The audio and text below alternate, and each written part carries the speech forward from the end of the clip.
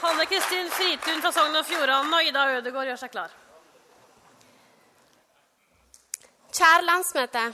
Når jeg blir gammel, så har ikke jeg bare lyst til å leve. Jeg har lyst til å leve godt. Situasjonen er i dag at det sitter altfor mange ensomme eldre rundt om i bygdene. Rundt om i Norges land. Ensomme med mangel på livsglede. Som sykepleierstudent har jeg sjøl opplevd den ensomheten på kroppen.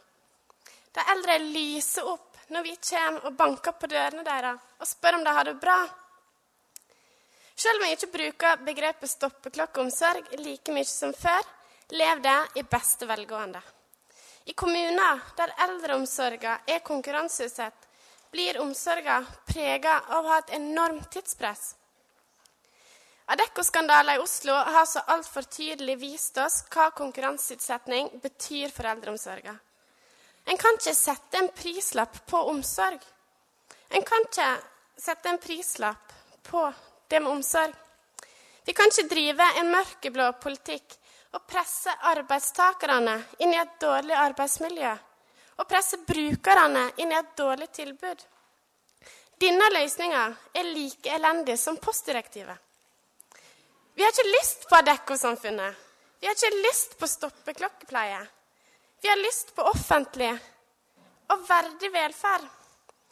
I 2009 var det 630 000 alderspensjonister i Norge. I 2050 vil dette tallet være fordobla. Det blir flere eldre, og levealderen i Norge har økt. Men antallet helsepersonell har sunket i samme takt. Jeg hører stadig om eldrebølger. Og Da forestiller jeg meg at de eldre kommer der med gåstolene sine som en sverm av grashopper og ete opp ressursene våre.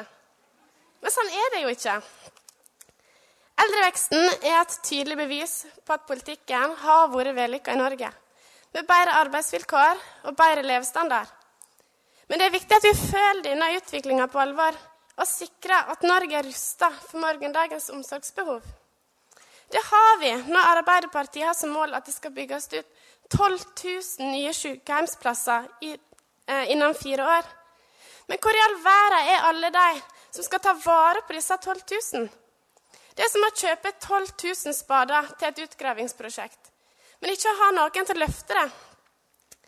Vi vil at eldreomsorgen skal styrkes, der alle skal kunne ha en god og aktiv alderdom. De som trenger hjelp, de skal få den hjelpa de trenger, når de trenger den. Kapasiteten må styrkes, og tilbudene må bedres. For når jeg blir gammel, så har ikke jeg bare lyst til å leve, men jeg har lyst til å leve godt. Takk for meg.